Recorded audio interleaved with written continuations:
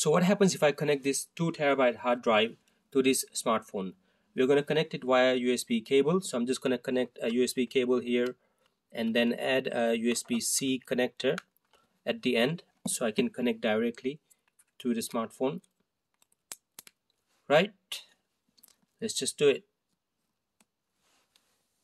As soon as you connect you can access all your file. Yeah so here the first one I have here is the uh, phone storage.